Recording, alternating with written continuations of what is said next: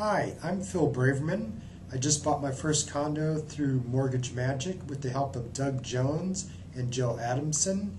The loan went through and everything worked really well. And what's nice about the condo is I'm located right near San Jose State where I can take public transportation or drive to school with little or no traffic. And that's just totally ideal. I'm very, very happy with this whole situation.